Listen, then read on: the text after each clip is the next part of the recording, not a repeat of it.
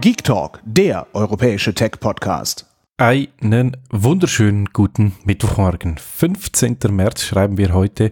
Hier ist Martin Pogipsi Rechsteiner und ich habe die folgenden Themen für euch mitgebracht.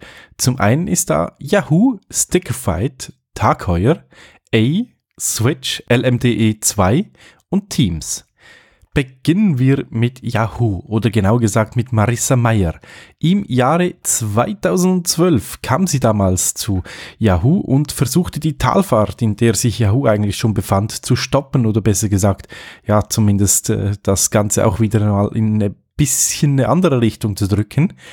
Wie wir ja mittlerweile wissen, hat trotz einigen Zukäufen und Umstrukturieren etc. das Ganze doch nicht so ganz äh, funktioniert, wie es hätte sollen.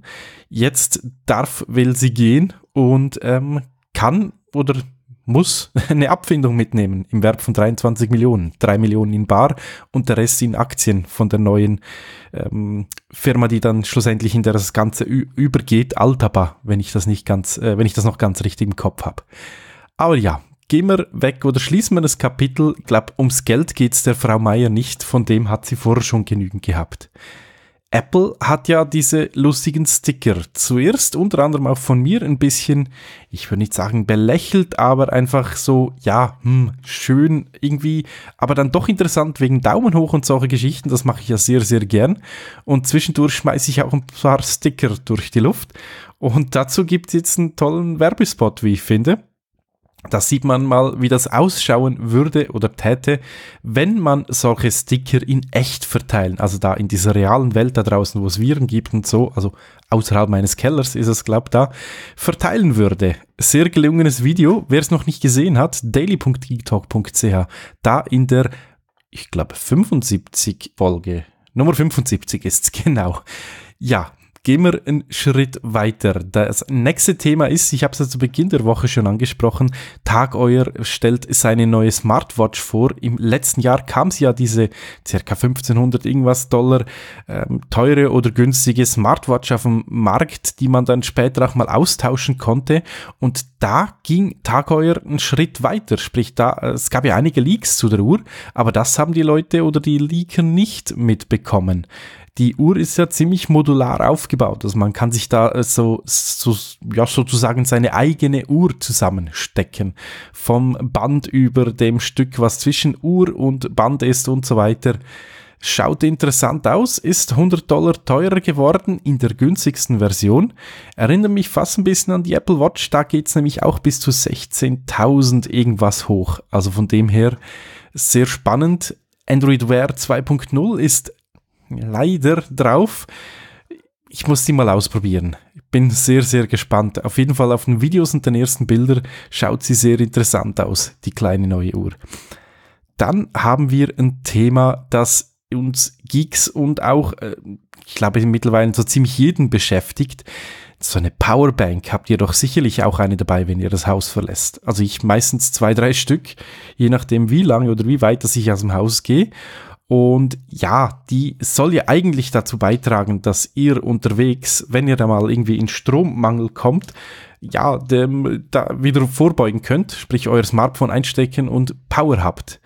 Jetzt gibt's da so ein lustiges Kickstarter-Projekt, da hat wohl einer seine Oma äh, vorgeschoben fürs Video. Ähm, ja, man kann ja die, äh, wie soll ich sagen, die die, die Batterie auch zusätzlich schwächen, indem man noch Funktionen mit einbaut.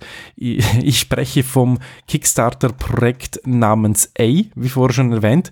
Da könnt ihr nämlich euer, euer iPhone in ein Android-Device umwechseln quasi. Einfach einmal umdrehen und hinten ist dann ein Android-Device drauf. 5 Zoll Display hat das Ganze, bis zu 256 GB Speicherplatz und SIM-Kartenslots an zwei an der Zahl und Infrarot-Blaster und Wireless Charging. Alles in einem ist quasi so wie der ähm, Buckelwall, den der Achim immer drauf hat äh, einfach mit einem Android-Device drin. Ich weiß nicht, weshalb ich das machen sollte, weil ja, wie gesagt, der Akku der Powerbank ist ja eigentlich da, um dem Hauptdevice Strom zu geben, nicht um sonst noch weggesaugen werden. Aber vielleicht mal schauen, was muss ich da einwerfen? 119 Dollar? Ja, mal schauen, vielleicht mache ich da noch mit. Es sind ja noch ein paar Tage, wo man da mit baken kann, backen kann, wie auch immer. Ähm, ja, schaut es euch mal an und wenn ihr da eine Meinung dazu habt, bitte gerne in die Show Notes, unten in die Kommentare oder via Social Media. Nintendo meinte ja, sie wollen bis Ende des Monats Märzen, Anfang des März ging ja die Switch online, also sprich in den Verkauf, zwei Millionen Stück verkaufen. Zahlen von Nintendo gibt es nicht, aber von diversen Orten gibt es Schätzungen, die gehen auseinander zwischen 360 über 500.000 bis zu eineinhalb Millionen, die schon verkauft worden sollen sein.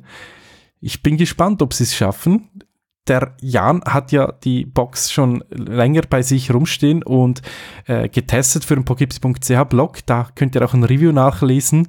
Ich glaube, ganz so begeistert war er dann doch nicht, aber das ist, glaube ich, immer so bei den Nintendo-Boxen am Anfang. Meiner einer wird sich die sicherlich auch noch zulegen, wenn es irgendwie klappt und äh, bin gespannt darauf. Mir genügt ja Mario, viel mehr brauche ich da nicht.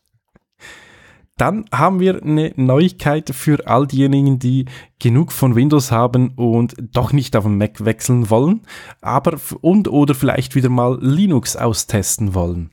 Da gibt es ja verschiedene Derivate, die ihr euch antun könnt, von ähm, ja einfach bis zu, ja, da müsst ihr dann schon rauskommen, was er tut. Und eine davon, die für Windows-Umsteiger sicherlich sehr, sehr gut ist, ist die Mint, Linux Mint.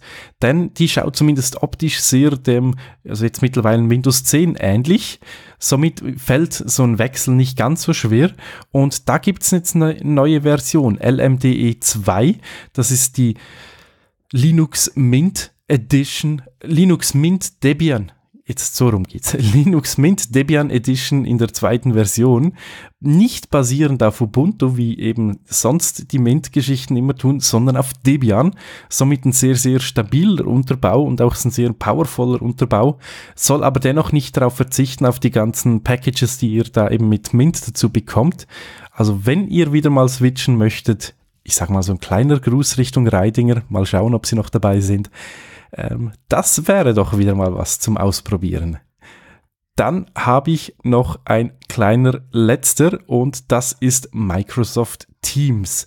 Wir haben immer wieder mal darüber gesprochen. Jetzt ab heute, also besser gesagt gestern, 14. März ist das Ganze ja für jedermann offen. Wenn ihr also einen Business-Account von Microsoft Office und dem ganzen drumherum da habt, solltet ihr euch das mal anschauen als Slack-Alternative, was auch immer ihr damit dann schlussendlich tun möchtet. Ich bin gespannt, was ihr da so für Erfahrungen macht. Ich werde mir das auf jeden Fall nach Möglichkeit gerne mal anschauen. Wer weiß, wer weiß. Und zu guter Letzt ein kleinen Videotipp. Geht mal auf daily.tiktok.ch, da haben wir ein kleines YouTube-Video verlinkt. Den jungen Herrn James Corden, den kennt ihr sicherlich von seiner Late Late Night Show, die er in den Staaten hat der hat ja vor kurzem eine seiner ähm, Unterformate an Apple verkauft. Ich kann mir vorstellen, dass das auch ein Format ist, was er nächstes Mal Richtung Apple verkaufen könnte. Denn er hat, ähm, äh, wie soll ich sagen, er spielt mit Schauspielern, deren ihrer Filmkarriere nach, also all deren ihrer Filme. Und einer, den ich mir da rausgepickt habe, ist Samuel L. Jackson. Müsst ihr euch anschauen, einfach kultig, die ganzen Filme. Ich werde mir äh, sicherlich die nächsten Tage wieder mal ein paar Samuel L. Jackson Filme zutun und äh, wieder mal anschauen, weil Pulp Fiction und so muss einfach sein. In diesem Sinne, ein kleiner Tipp für euch und ja, wir hören uns morgen wieder, hoffe ich doch, so schön und wünsche euch einen wunderschönen und vor allem einen erfolgreichen Tag. Bis dann, euer Pokipsi. Tschüss. Hört mehr Geek Talk.